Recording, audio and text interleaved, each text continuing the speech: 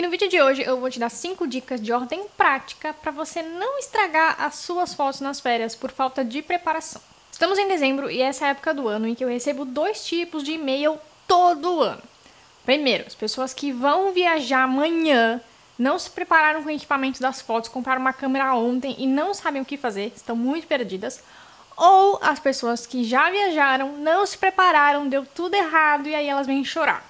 Todo ano é a mesma coisa, são os dois tipos de e-mail que eu recebo aos montes em dezembro e janeiro.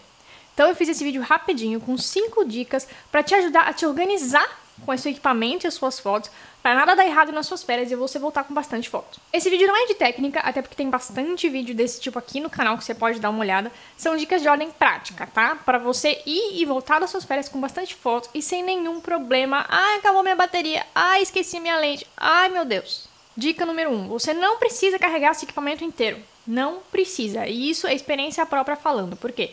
Porque no começo, quando comecei a fotografar, quando eu não trabalhava com isso, quando era hobby e tal, eu carregava tudo atrás de mim nas férias. Era tripera, monopera, 10 lentes e não sei o que. Nunca usava nada. Enchia o, o porta-mala de coisa, pagava excesso de bagagem. Pra quê? Você acaba não usando. Você tá na rua, você tá passeando, você não vai ficar trocando lente, procurando coisa, você não vai. Escolha equipamento que é pau para toda obra para você e leve só isso. Se você tem só o celular para fotografar, mas tem 15 lentes, leva o celular e uma lente. Duas lentes se você precisar. Você não vai usar as 15, acredita em mim, você não vai usar. Ah, eu tenho uma câmera profissional, eu tenho 35 lentes. Cara, leva uma. Você não vai no meio da rua, num ponto turístico, tirar a sua lente, encher seu sensor de areia, aquela coisa toda. Não. Então, primeira coisa, viagem leve. Hoje em dia, o que, que eu carrego? Três coisas só. A minha câmera com uma lente, que geralmente é essa aqui, que é a 40mm, que é bem versátil, eu consigo fazer tudo que eu quero com ela, então eu carrego ela o celular, que eu consigo fotografar em qualquer lugar, é a coisa mais prática, na verdade, e a minha GoPro. Só, nada de 30 lentes, nada de um monte de filtro, nada, porque você não vai usar. Segunda coisa, um clássico dos e-mails chorões do Natal. Ai, Lu, eu levei meu cartão de memória, mas ele tava cheio, aí deu para tirar cinco fotos, só acabou o espaço do meu cartão. Eu não podia formatar o cartão. Gente, você não sai para uma viagem sem cartão de memória limpo e formatado. Você não sai. Porque assim, ó, se você viajou, você não levou seu computador, você não tem como passar as fotos para algum lugar. Seu cartão tá cheio, você vai tirar, sei lá, 15 fotos, 20 fotos, acabou o cartão, e aí? Eu sei, você pode comprar um outro cartão. E se você não quiser? E se o dinheiro da viagem estiver curto? Você nunca vai para uma viagem, viagem de férias, uma coisa que você sabe que você vai fotografar muito, com os cartões cheios. Sempre, tá? É a primeira coisa que eu faço quando eu vou sair. Eu verifico se meus cartões estão limpos, formatados e as fotos que estavam dentro estão salvas no meu HD. Com o cartão limpo e organizado, você consegue tirar um monte de fotos sem problema nenhum. Equipamento de ordem prática, que eu já mostrei num vídeo aqui, mas que é legal ter, é um tripézinho de mesa. Por quê? Primeiro, você não vai carregar um tripé grande, profissional, blá blá blá, pesado, se você não está numa saída fotográfica. Não existe, gente. Você não está no ponto turístico, vai parar tudo, montar o tripé no meio de uma multidão. Não. Um tripézinho de mesa é bom, você quer tirar uma foto com um amigo seu em cima da mesa, você quer tirar uma foto do seu almoço, uma coisinha mais prática e que não chama atenção. Até porque se você tá num lugar que você não conhece, cheio de equipamento pendurado e monta um tripé no meio do negócio, todo mundo vai saber que você é turista.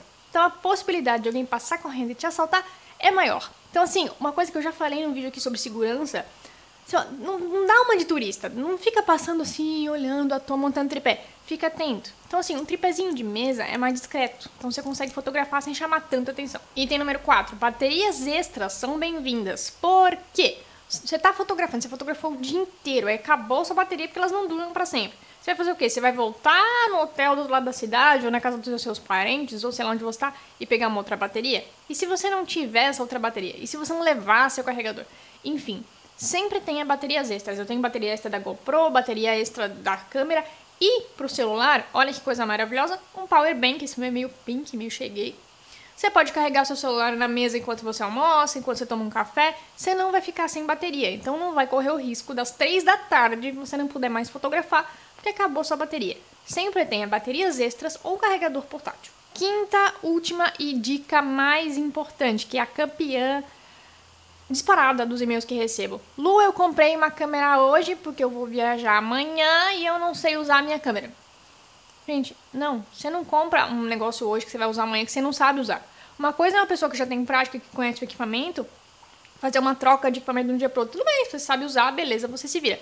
Você é amador, você nunca usou aquele equipamento na sua vida. Você não compra equipamento na segunda para viajar na terça. E isso é o clássico. Toda hora eu recebo e-mail. Lu, comprei uma câmera hoje, vou usar amanhã, não sei usar. Gente, por favor.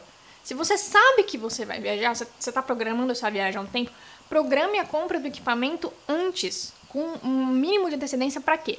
Para você sentar, para você ler seu manual de instrução, que ele é importante, tem muita dica lá que vai te ajudar. E mais importante, para você pegar prática.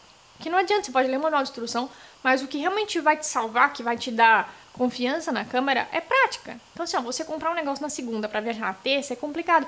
Porque o tempo que você tá lá procurando o botão, onde é que faz isso, onde é que faz aquilo, você já perdeu a foto. E aí você tá tão preocupado com aquilo, você não presta atenção nos lugares que você tá fotografando, você, você fica tão paranoico com aquilo, que das duas uma. Ou você não presta atenção na viagem, você tá prestando atenção na câmera, ou você acaba não usando sua câmera e você fica frustrado porque você não sabe usar. Então, assim, ó, você vai viajar em janeiro, compra e sabe que você vai comprar um equipamento novo para isso, compra agora. Compra no dia 5 de janeiro um negócio que você vai usar no dia 7, porque não dá tempo. Então, por favor, programem-se.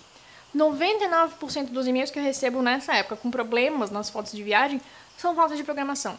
Falta de bateria extra, uh, comprar o equipamento em cima da hora, tudo isso que eu falei. Não tem bateria extra, carrega tudo aí, perde o equipamento. Aconteceu muito também. Ah, Lu, levei todo o equipamento que eu tinha, perdi. Perdi no hotel, perdi no aeroporto não, não precisa. É, acaba tornando as fotos de viagem numa tortura. Se você acha que vai usar só o celular, leva só o celular. Você não precisa levar um monte de coisa. O mais importante são as fotos que você vai fazer, não o equipamento que você vai usar. E aí temos cinco dicas muito simples, de ordem prática, mas que eu garanto que vão salvar suas férias se você não prestou atenção. Porque são as cinco coisas que mais me perguntam, que mais me mandam e-mail nessa época, que mais rola a choradeira do ai, ah, eu não fiz isso e agora não tenho foto. Ai, ah, eu não fiz isso e agora perdi meu equipamento.